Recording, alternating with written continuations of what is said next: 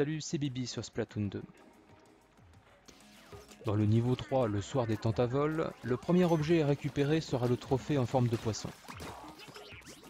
Assez tôt dans le niveau, vous traverserez une zone avec euh, des rouleaux qui surgissent euh, des murs. Il faudra donc euh, sauter par-dessus et arriver à un checkpoint. Il faudra continuer un petit peu sur la plateforme et un peu sur la gauche, vous verrez une caisse en bois. Il faudra réussir un saut calamar, c'est-à-dire pas culer par terre, se mettre en forme calamar et sauter. Et normalement, vous devriez atteindre la caisse qui renferme le fameux trophée.